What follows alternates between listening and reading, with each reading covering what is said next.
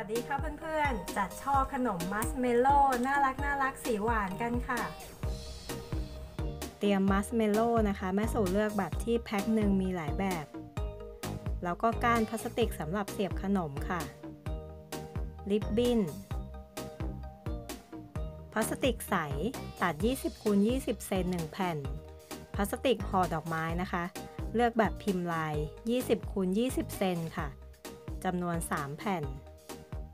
กรรไกรแล้วก็เทปใสค่ะ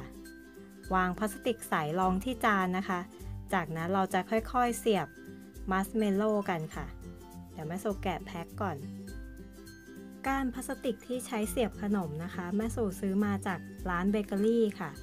ร้านขายอุปกรณ์ทำขนมในตลาดก็มีขายค่ะ แล้วเราก็เสียบไปแบบนี้ออกแบบที่เราชอบนะคะ ใครไม่มีก็ใช้ไม้เสียบลูกชิ้นได้ค่ะ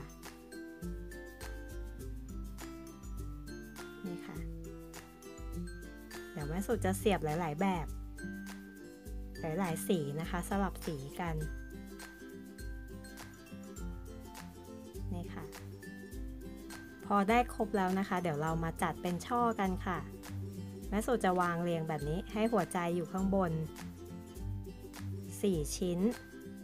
อย่างนี้นะคะ แล้วติดด้วยเทปใสเลยค่ะที่ด้านล่าง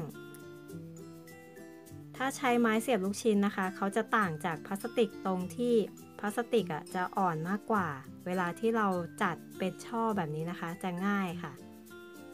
ไม้เสียบลูกชิ้นเขาจะแข็งๆนะคะ จะยากกว่านิดนึงนี่ค่ะ เรียงตามที่เราชอบเลยสลับสี จัดช่อเสร็จแล้วติดด้วยเทปใสด้านล่างค่ะ แล้ววางลงไปที่พลาสติกแบบนี้นะคะ ถุงพลาสติกใส แม่สูตรตัดมา 20คูณ20 เซนค่ะ ห่อด้านหลังแล้วด้านข้าง ให้เลยขึ้นไปด้านบนแบบนี้นะคะ เห็นไหมเอ่ย ติดด้วยเทปใสเลยค่ะ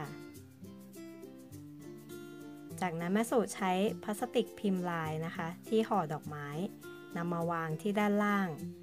ให้สูงกว่ามัสเมลโล่ขึ้นไปแบบนี้ค่ะ แล้วติดด้วยเทปใสที่ด้านล่าง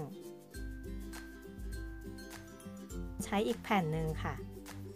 วางเฉียงเฉียงนะคะ แบบเขาก็จะดูเก๋ไก๋น่ารักนะคะ ติดด้วยเทปใสเลย ด้านหน้าเราจะเห็นการพลาสติกอยู่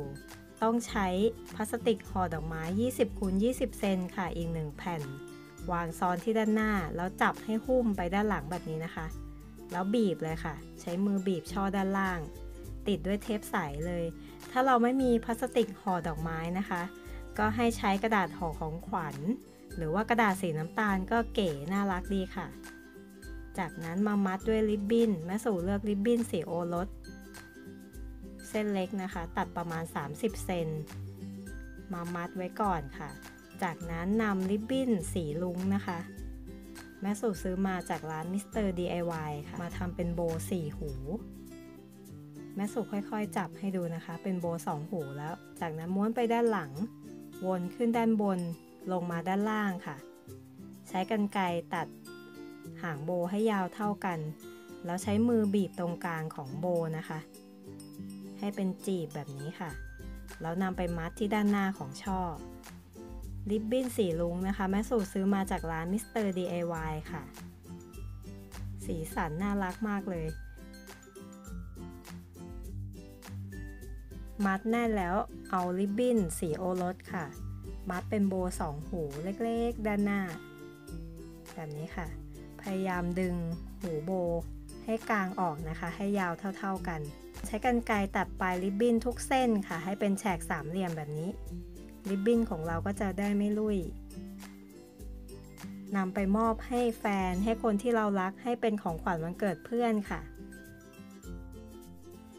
ชอบกดไลค์ใช่กดแชร์ กดติดตามแล้วอย่าลืมกดที่ปุ่มกระดิ่ง เล็กๆด้วยนะคะ จะได้ไม่พลาดคลิปใหม่ๆจาก DIY ง่ายนิดเดียว วันนี้ขอบคุณค่ะค่ะ บ๊ายบาย กดติดตามที่ปุ่มนี้ค่ะ แล้วกดที่ปุ่มกระดิ่งเล็กๆ ตรงนี้ด้วยนะคะ ขอบคุณค่ะ